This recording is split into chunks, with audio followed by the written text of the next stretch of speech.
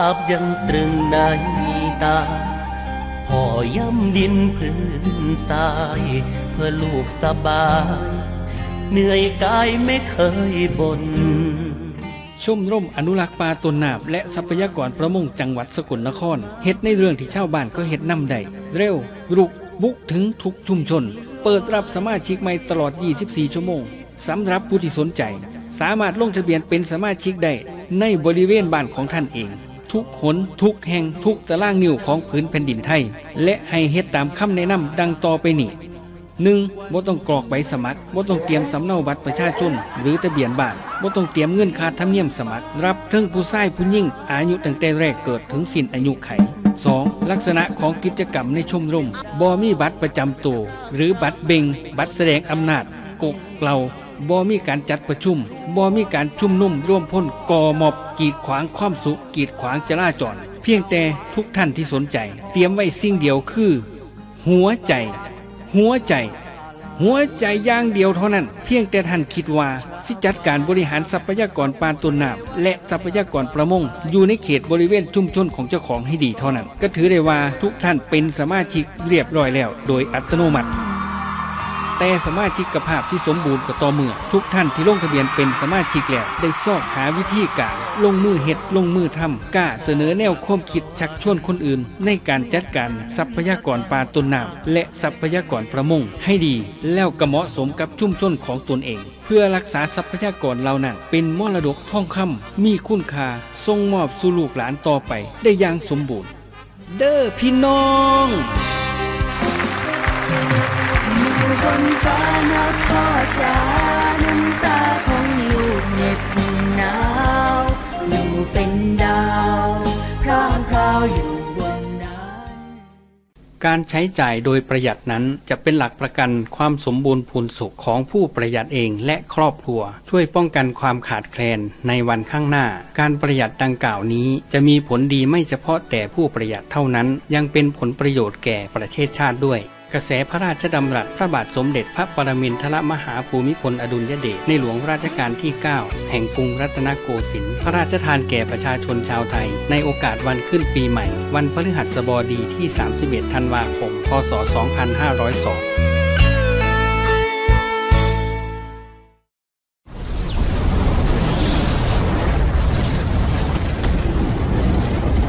ลูกทุ่งเอิ้นน้องคืนนา ตามป่าคืนน้ำลูกทุ่งเพื่อการบริหารจัดการทรัพยากรประมงน้ำจืดเขื่อนน้ำอูนสกลนคร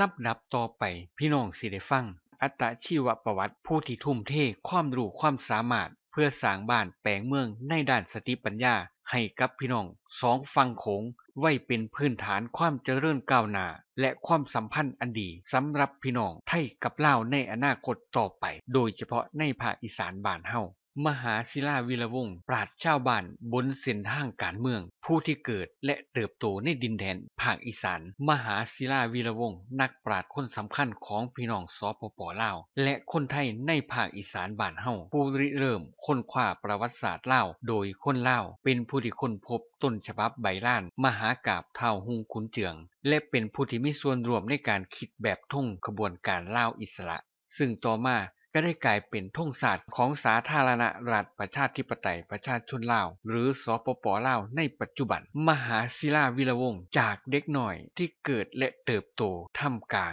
ต้นหญ้าและโคลนตมในพื้นที่ของบ้านหนองหมื่นถ่านอำเภออาจสามารถจังหวัดร้อยเอ็ดของประเทศไทย ในชื่อเดิมว่าศิลาจันทนาม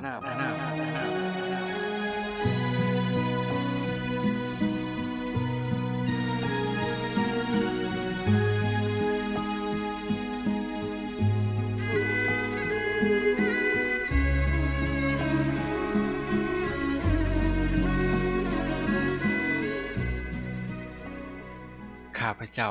เป็นลูกคนบ้านนอก เท่ากับว่าเกิดอยู่กับก่อนขี่ไถเติบใหญ่ทั้งหลังคุ้ยหูจักหากบหาเขียด เก็บผักหักฟื้นมากินตั้งแต่หัวซ้ำหมักกระทอน เพราะเป็นลูกเศร้าหน้า ห่างไกลความเจริญจากเมืองใหญ่ตั้งหลายโยชน์เกิดที่บ้านน้องเมือนทาน ยุคนั้นขึ้นกับอำเภอเสรภูมิจังหวัดร้อยเอ็ด ทุกมือนี่คืออำเภออาจสามารถจังหวัดร้อยเอ็ด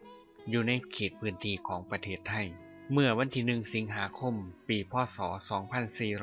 2448 ตรงกับเดือนเก่า ขึ้นหนึ่งคำวันอังคาร เวลา 12.30 นาฬิกา ปีมะเสงพอซื้อนายแสนจันทนาม แม่ซื้อนางดาจันทนาม มีพี่น้องห่วมทองเดียวกันจำนวนถึงเก่าคน ข้าพเจ้าเป็นลูกคนที่สี่บ้านหนองมืนทาน เป็นหมู่บ้านใหญ่พอสมควร มีประมาณ300หลังคาเฮือน ตั้งอยู่ข้างปลาโขก ด้านทิศตะวันตกของหมู่บ้านมีโขกปลาจิก ไม่เต็งปลากุงปลาพ่วงล้วนแล้วแต่อุดมสมบูรณ์ไปด้วยพืชผลธรรมชาติที่เกิดขึ้นเอง เป็นต้นว่าเฮ็ดต่างๆ และพักหยางนางหญ้าด้านทิศตะวันออกของหมู่บ้านเป็นน้องขนาดใหญ่ลึกมีน้ำขังตลอดปีเอื่นกันว่าน้องหมื่นทาน ฝูงงัวฝูงควายของชาวบ้านได้อาศัยกินลงนอนย่ามแรงเลื่อยจากน้องหมื่นทานขึ้นไปอีก ก็เป็นทงหน้ากว้างใหญ่ เอื่นว่าทงหน้าทุ่ม หมายถึงหน้าปลาโขกที่มีต้นไม้ยืนต้นห่างๆกัน กว้างใหญ่สุดลูกหูลูกตา ตามธรรมเนียมของชาวบ้านนี้และบ้านอื่นๆ ทั้งหลายในภาคอีสาน แต่ยุคก่อนๆถือว่ามีวิถีชีวิตแบบเดียวกัน คือ พี่น้องประชาชนทั่วไป สิเฮ็ดให้เฮ็ดหน้าเฮ็ดสวนเลี้ยงหมูเลี้ยงไก่เลี้ยงเป็ดไว้ในครอบครัว และกับพากันกินข้าวเหนียว คือกันเมืดเครื่องนุ่งห่ม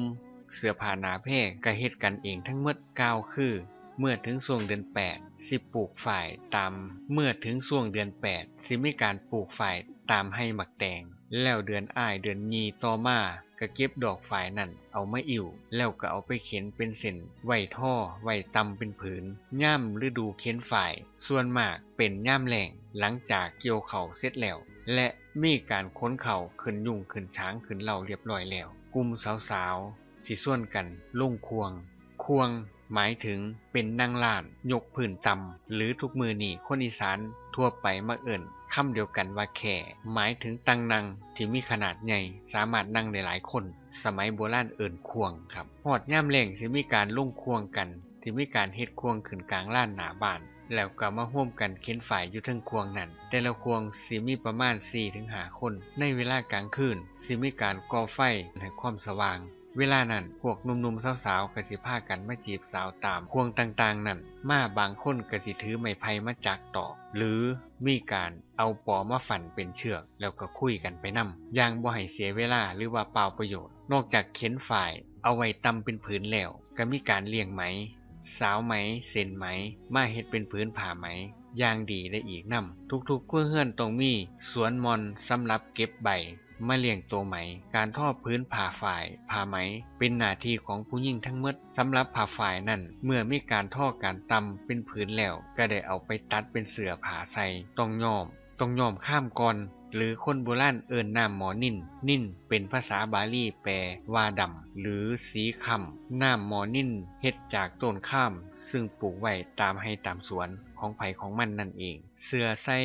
ของผู้หญิงกระตัดมาจากผ่าฝ่ายย่อมหมอนินส่วนมากสิเป็นเสือตัดแขนยาวแขนกระบอก ติดกระดุมสีขาว ที คือคือกันกับเสือพี่น้องเช่าวไทยดำในทุกมือนี่อันที่สีสวมใส่เสือผ่าจากเมืองนอกเมืองหน้า สมัยนั้นบ่มีเลย ในเรื่องของประเพณีการนับถือและการศึกษาพี่น้องชาวอีสานตั้งแต่ยุคก่อนถือผีฝ่าผีแทนและผีดำ ผีบรรพบุรุษ เทวดาผีเสืออีกต่างๆนานามากมายครับ แต่ถึงอย่างใดก็ตาม ทุกๆบ้านที่เป็นหมู่บ้านใหญ่ก็ต้องมีวัดทุกหมู่บ้าน การศึกษาของพี่น้องประชาชนก็มีตั้งแต่บวชเฮียนตามวัดว่าอาราม หนังสือที่เฮียนก็คือ โตไทยน้อย โตถ้ำโตขอม โตเลขแบบโบราณใส่สวดเป็นภาษาสันสกฤตปนลาวภาษาทินหมายถึงภาษาทินตัวอักษรไทยยังบ่มีเฮียนในสมัยนั้นครับ พี่น้องชาวอีสานถือว่าพวกผู้ชายทุกคนต้องบวชเลี้ยนเขียนอ่าน ผู้ใดบ่ได้บวชถือเป็นคนดิบบ่มีสติปัญญาบ่รอบรู้บ่หูอีหยังเลยบ่หูประเพณีการทำบุญทุกอย่างกะ ในเรื่องของประเพณีการทำบุญทุกอย่างก็สิเหมือนเหมือนกันคือคือกัน งานบุญที่สำคัญและเป็นงานที่ยิ่งใหญ่ก็คือ บุญมหาชาติกับบุญบังไฟ บุญมหาชาติหรือว่าบุญพระเวทนิยมเฮ็ดกันในช่วงเดือนซี ไปจนถึงเดือนหาส่วนบุญบังไฟนั้นนิยมเฮ็ดกันในวันเพ็ญเดือนหกไปถึงขางคืนไปถึงขางคืนเดือนแปดขอบอกว่า เฉพาะประเภทนี้บุญมหาชาติหรือว่าบุญพระเวสสันดรก็คือ การเฮ็ดบุญฟั่งเทศ เรื่องท้าวเวสสันดรชาดก บุญนี้ถือเป็นบุญใหญ่ยิ่งก่อนที่ตั้งกองบุญทางวัดคณะสงฆ์และชาบ้านประชุมตกลงกัน ว่าสิมีการจัดงานในมือใดเดือนใดแล้วก็มี การร่วมทั้งสิไปใส่บ้านใดแน่ คือการไปเชิญหมู่บ้านใดแน่มารวมงานบุญขั้นมีการตกลงกันแล้วก็ต้องเฮ็ดหนังสือนำหนังสือเรื่องพระเวสสันดรชาดกนี่ขึ้น ซึ่งมีอยู่จำนวน 13 ผูก ออกมาแบ่งให้ครบเท่ากับจำนวนพระสงฆ์ที่สิเป็นภูมิเทศ รวมทั้งพระที่จำพรรษาในวัด แล้วที่เชิญมาจากบ้านอื่น บางเทืออาจมีถึง 40-50 คน หนังสือที่แบ่งออกกับพากันเอินว่ากัน แล้วแจกจ่ายกันหนังสือนั่นไปตามเจ้าอาวาสวัดต่างๆ ที่นิมนต์มาพร้อมกับแจกหนังสือนี่ และมีการเขียนฉลากคือใบบอกบุญหรือว่าบัตรเสื้อนั่นเองแนบไปนำในสลากนั้นมีขอความว่าวุฒิธรรมคำฟุ้งขาทั้งหลาย ภายในมีหัวครูหรือราชคู่เจ้าเป็นประธาน ภายนอกมีเถ่าแก่พ่อแม่เจ้านายบานเป็นเข่าหมายถึงเจ้าภาพ ได้เต้าโฮมกัน เฮ็ดบุญมหาศาสตร์ จึงขอเชิญเถ่าแก่พ่อแม่บ่าวสาว ไปฟังธรรมเทศนา กินท่านน้ำกันเทินจากขอเขียนในโอกาสลำลึกหนึ่งร้อยปี ชาติการมหาศิลาวีระวงศ์หนึ่งสิงหาคม พศ 2448 ถึง 1 สิงหาคม พศ 2548 ปราดเมธีคนสำคัญของพี่น้องสองฝากฟังแม่น้ำโขง